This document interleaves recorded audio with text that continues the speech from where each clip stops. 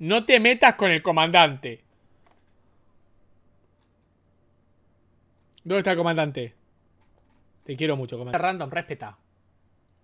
Mi gente, ¿qué tal? Bienvenido a mi fetiche favorito en internet. Dar nalgada a Adala, un simp de manual que era constantemente humillado por la chica y encima lo cuenta tan campante públicamente. Era un fracaso estrepitoso con las chicas, pero un fracaso que de verdad no os hacéis ni una puñetera idea. Hasta que te llega la famita y las cosas se ponen un poco más fáciles, ¿no, Dala? Yo conocí en 2013 a Miare por Twitter.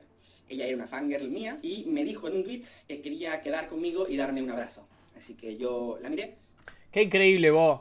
Qué increíble. ¿eh? Yo no puedo creer eh, cómo te baja la dificultad de la vida tener plata y seguidores, boludo. Es una cosa. Es una cosa. Qué increíble, vos. ¿Cómo baja la dificultad, vos? ¿Cómo baja la puta dificultad de la vida, vos?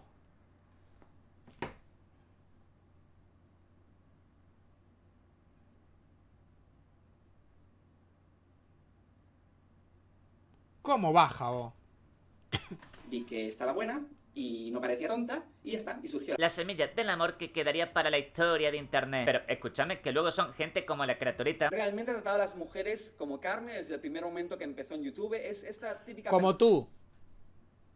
A ver. Voy a decir la verdad. Eh, mi camioneta me sube unos puntos. Gibel, soy tu fan cuando quedamos en Chile, pod friend. Eh, mi camioneta me sube unos puntos. Yo no... ¿Te voy a mentir? No. ¿Te voy a mentir? No. A ver. No te voy a mentir. A ver. eh, a ver. A ver cómo lo están escribiendo, chicos. Es de haber. A ver, de ver, es A separado ver. A ver, un diccionario no mató a nadie, muchacho. un diccionario no mata a nadie, muchacho. Por favor. Eh, mi camioneta. Mi camioneta es una Nissan Kick. La camioneta de mamá, ¿no? No, la pagué yo, la pagó papá. Con el stream y con YouTube. 35 mil dólares. ¡Pum! Ahí. Y no la pagué a plazo, la pagué a contado, con toda la pija. Persona que antes de que le llegara la fama no ligaba ni para atrás. Y cuando le llegó la fama comenzó a tratarla de unas maneras increíblemente. O gente como Aiton Gameberger. H.A. Entonces, con si no acento la fama, agudo R. No tiene nada con lo que poder ligar con absolutamente nada. Los únicos que aplican este superpoder a que sí, criatura. Proyección, que va, que va. O sea que Haters es de la nuestra liga por una camioneta. belleza Sí. que está por encima de la media. Y os calláis la boquita. La última víctima, el chico cornudo del que hablamos hace poco. Lo que pasa es que a ella, pues, lo que le gusta es otra cosa. Y es esta cosa de aquí, 8,6 millones. Que da igual que el pobrecito se vea así, porque esto es lo realmente relevante. ¿Te ves así? No pasa nada. Dallas, ¿estás insinuando que a las minas les importan los seguidores de los pibes? Y pueden estar con tipos Chat esa camioneta las usan las madres de casa. si, simplemente por... Por los seguidores y la plata, me parece una falta de respeto que digas eso, Dallas. O sea, yo no lo puedo creer.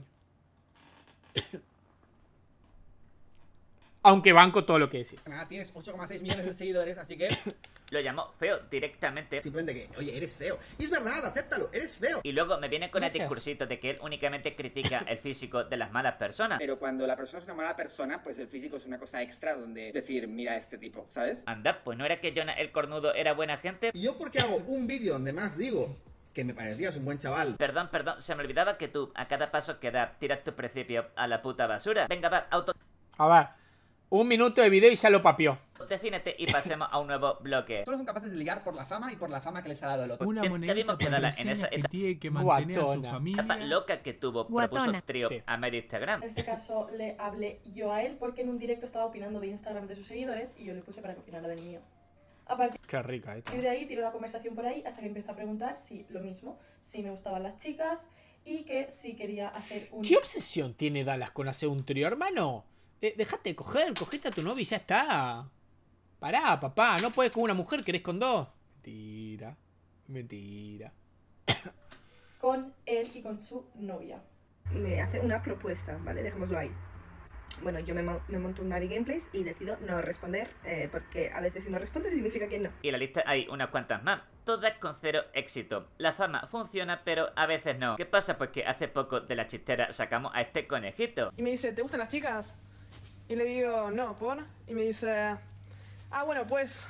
Y a mí si me mandan todo eso me hago lesbiana. Me dice, ah, bueno, pues, para hacer un trío con. Y la novia, que ¿Qué? ya no me acuerdo el nombre. Te lo juro, tengo Ah, los sí, chats. sí, tengo que los lo chats. Y nos podemos sentir afortunados porque le ha terminado contestando. Con Olivita no tiene pelotas, pero con esta sí. Afortunado porque ha vuelto a quedar en evidencia, obvio. Bastante cínico por parte de Dallas pone en el título que la chica es una señora, cuando únicamente tiene 19, eh, sí, son chicos los hijos de Ricardo Ford. Son chicos los hijos de Ricardo Ford. Y el hijo... Son ¿Eran gemelos los hijos? Porque... mm, Son... eh, son hijos de, de un vientre. Bueno, todos son de un vientre, pero... Son hijos de un vientre de creo. 19 años, no me jodas. Lizzie con 40, una adolescente. Lo en el vídeo es también lo hace y como no, se Al mete menos con el físico. a alguien no me que no sea conocido. que no era esperable. Con una señora así, jamás en la vida se me ocurriría mantener nada, ni a solas, ni en grupo, ni en absolutamente nada. Aparte de que por fuera Hermano, es más linda que Ingrid y que Miare. A ver, dala. A ver.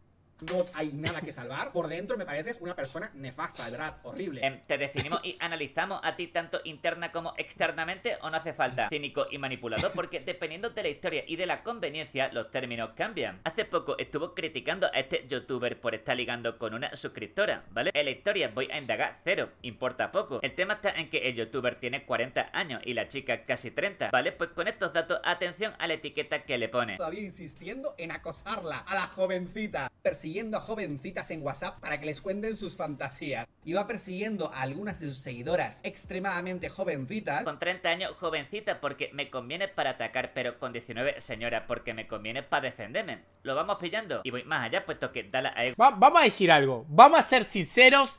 Vamos a ser sinceros. Acá quiero que nos saquemos las caretas. Está bien la hija de Ricardo Ford.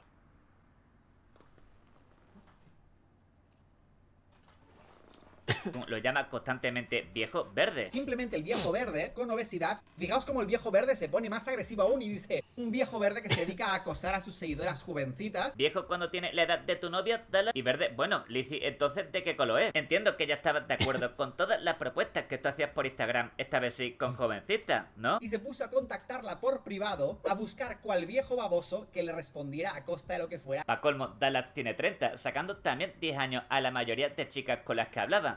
No tiene escapatoria por ningún sitio. Bien, volvamos con la chica, mi gente, que a todo esto se llama Marta. Dallas la llama bastantes veces busca fama. Pero bueno, ya sabéis lo típico de estas tipas que andan buscando mucha fama. Esta tipeja, bueno, en fin, ¿qué Pero ¿qué va a querer de vos, Dallas? Es multimillonaria ella. Tiene la vida resuelta. No como vos que tuviste que, que hacer un video pago en Stardew mintiendo para tener un poco de plata más. decir de ella? Básicamente ha ganado sus dos minutos de fama. Felicidades, aplausos para ti. Hay muchas mujeres de este estilo que intentan ganar fama de esta manera tan repulsiva y tan baja y tan ridícula. Y bueno, ella es una de esas personas. Y puede que esto encaje con alguna de la lista, Dallas, pero con esta me da que no. La chica no es que tenga fama en su país, Argentina, familiarmente hablando, sino que encima es millonaria. Y todo mediante la herencia del papá que acumulaba esta fortuna. El empresario era una de las celebridades más ricas Buenas del país. noches, ya abuelo, ¿ya tenía leíste el manga de Minato? 11 millones de ¿Qué te pareció? No, los no lo leí. ingresos por tener el 33% de las acciones de la fábrica de chocolates Felford. Siguiendo tu criterio, ¿ella buscaba tu fama o tú sus millones? Y yo le empiezo a, a dar un pequeño resumen de quién soy yo, de quién era mi papá, de la empresa, bla. Venga, dale, admítelo, te jode que sin esfuerzo tenga tanta pasta y tú tengas que estafar a tu audiencia para llenarte los bolsillos. Y hablando de estafa, eh, un momento. No olvides entrar en mi Discord. Pronto haremos un grupo para ayudarnos a hacer inversiones con cabeza e invertir dinero entre todos. En serio, nada de estafas, algo real y honesto. ¿Por qué me huele tan mal esto? Qué pena me dan los panbesitos, de verdad. Bueno, no tanto. Avancemos y es que Dallas dice que no le hizo ningún tipo de ofrecimiento a Marta. Yo no le propuse absolutamente nada, pero absolutamente nada. Cuestión, ¿cómo estás tan seguro si no te No acuerdas? exactamente lo que habrá pasado, honestamente, porque no me acuerdo de la puñetera conversación. Muy sencillo, mírala, tú que grabas todo. Anda, no me jodas, no me jodas que el tío que a la No me acuerdo qué pasó, pero yo no hice nada. mínima expone cualquier tipo de conversación ahora no puede. Me gustaría mostraros la conversación completa, pero la verdad ni siquiera tengo, porque de nuevo la bloqueé y no me aparecía ningún mensaje. Pero estoy seguro de que no fue relevante, que esta tipa está buscando ¿Se borran los mensajes si bloqueas y desbloqueas a alguien? ¿Eso pasa? fama más que evidente. Y que número 3, esta señora no me parece lo más mínimamente atractiva para pensar jamás siquiera en ni siquiera ligar con ella. Es que no me lo parece. Así de simple. Cada uno tiene sus gustos y mi gusto es que esto no me gusta. Entonces, las circunstancias que tenemos es que nos tenemos que fiar de tu palabra o de la de ella, ¿verdad? Pues yo lo tengo claro. ¿Sabéis lo que más me ha gustado del vídeo? Ver a Dala llorando por el tema de la privacidad. Hoy vengo a hablaros de un tema que la verdad me parece surrealista tener que hablar de algo así. Honestamente os digo, porque no entiendo honestamente que a tanta gente le interese lo que hago yo en mi vida más 18 privada. De verdad, es algo que me impresiona honestamente. Resulta que a muchísima gentuza ridícula le interesa con quién me acuesto, me dejo de acostar, me hago cosas de 3 o me hago cosas de 4 o me hago cosas de 500. Resulta que ahora lo que hagan adultos de forma consentida en su cama es algo que al parecer les encanta comentar a muchos. Te jodes, te jodes, pero bien, canta mañana. Tú cuando quieres, bien que hablas de lo que hace en la camita. ¿No estuvisteis, ¿no estuvisteis tiempo, un tiempo siendo una pareja liberal? No, no. Bueno, a ver, depende de lo que consideres liberal. Nos montamos un trío, bueno, un par. Pero eso no, no éramos una relación abierta. O sea, no es como que ella pudiera irse con... Además, nos lo hacíamos con chicas. No con chicos. No esperaba menos de un macho alfa. Cuando quiere, bien que pincha justo con el mismo tema. Y de bromitas, voy a poner entre comillas porque dio mucho cringe, que me pediste un trío.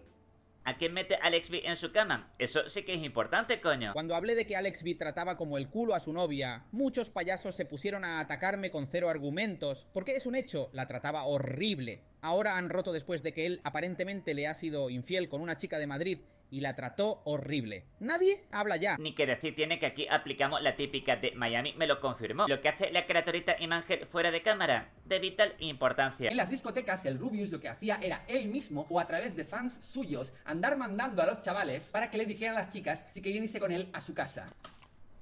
O hacerlo él directamente. Esto también lo hacía Mangel. Lo sé porque he conocido a bastantes chicas que no se... ¡Basadísimo!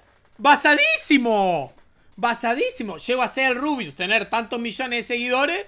Voy y le digo... ¿Sabes quién soy yo? Che. Rubia. ¿Sabes quién soy yo, no? Eh, eh, para. Eh, eh. Eh, rubia. ¿Sabes quién es Yogi? ¿Sabes quién es Yogi? Fútbol. ¿Sabes quién es Yogi, rubia? Pará.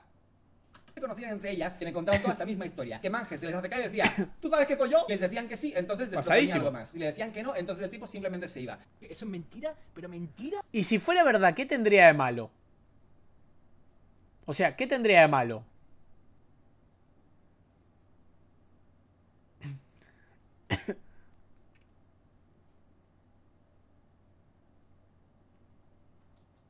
Pero mentira. Lo digo borracho, eso es mentira. Nunca he dicho eso, en mi vida lo diré. ¡Nunca! Y hasta ese día yo lo respetaba, pero ahora lo digo. Nunca he dicho eso. Ahora que te toca a ti, ¿te vas a poner a llorar, putita? No, no, no. No le propuse absolutamente nada. Estoy segurísimo. Vamos, seguro, seguro. Para proponer algo así, o sea, es que es básico. Tienes que conocerte primero con esa persona en persona. Y tienes que tener bastante confianza. Básico para la gente normal. El caso es que tú no lo eres. Dala, no me jodas que hemos visto todas las conversaciones, hijo puta. Es tan sencillo, Dala, como que con Marta aplicamos esto. En fin, me he leído el hilo y básicamente lo que dice es que el tipo es muy mala persona, que si le gritaba mucho, que si lo humillaba, bla, bla, bla, bla. Y la verdad, me lo creo todo. Porque si el tipo era así, con amigos y con trabajadores, me pregunto cómo sería con sus parejas. Me suena perfectamente creíble, porque no está contando nada súper imposible de creer. He visto esta actitud en muchas personas. Este criterio, este punto de vista, este enfoque en base a un historial. Por lo tanto, llora, llora todo lo que pueda y más. Pero bueno, en fin, por alguna razón, Mi novia al congelador y la basura a mi cama. Y tú, callado. Trucazo, chaval. Uy, lo metí, qué mongólico. Me viene a pedir ¡Ay, Dallas! ¡Habla de este caso porque te están acusando! ¿Me quieres comer los huevos, por favor? Es que de verdad, ¿qué es lo que tengo que decir sobre esto? Ay, sí, chicos, es que sabéis que mantengo relaciones de adultos con gente adulta y sabéis que es que también hablo de cosas de adultos con gente adulta y con mis fans, pues muchas veces hablo de temas adultos. Que aquí estaremos para date por culo y quítate la careta No estoy mute, lo vi ahí. Literalmente todo el rato. ¿Y qué tengo que justificarme sobre eso? ¿Que justificarme que yo hable de cosas más 18 con gente más 18? ¿Pero qué clase de enfermedad mental tiene esta gente? O sea, ¿de dónde hemos salido? ¿De la Santa Inquisición? ¿Qué es esto? ¿Un convento de monjas? Más 18 como a la que le quería oler el pelo o co- Y bueno, mi gente, hasta aquí hemos llegado. ¿Qué opináis de todo esto? Os ¿Por qué ese fetiche de olerle el pelo a las minas? ¿Alguien me explica el fetiche de olerle el pelo a la mina? ¿Me, me explican el puto fetiche de quererle oler el pelo a una mina? ¿Me lo explican? ¿Me lo explican?